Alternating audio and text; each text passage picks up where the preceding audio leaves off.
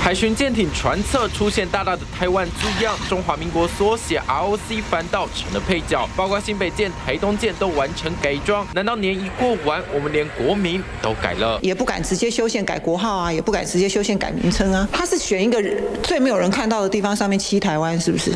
他让他的支持者有个交代。我们军事的装备上面最多就是一个国旗嘛，为什么要打台湾？我觉得有点是画蛇添足多余的。那就除非你是对于这个国家的认同有问题，才会打台湾。后续还有两百二十五艘舰艇都会被改装写上台湾。蔡英文才被三不敢修宪搞台独，这舰艇马上改名给你看。但这改名是谁定案？第一时间海军署勇于承担，说绝对没有国安高层知道。没想到总统府秒打脸挑。明就是蔡英文亲自指示，海巡署尴尬道歉，还默默收回新闻稿。你这样子打脸到自己的部署来讲的话，你是给他做一个漏气。这些长官们，他要带他的部署，他是如何带？啊，我的长官是一个会撒谎的长官。蔡政府动辄挑衅对岸大陆攻击，疯狂扰台，疲于奔命的空军飞官发文怒呛蔡政府：有想过三百六十五天有两百五十天晚上都无法睡好吗？这种消磨战真的快崩溃！不要只敢躲在总统。府内喊台湾价值，这片天空是拿来守护，不是拿来政治操作。他更讽刺，一直够强大的，现在都成了上将，什么超买私烟都无法动摇的意志。非官更扬言，年终就要前退。很显然，他们并不认同这样的一个任务。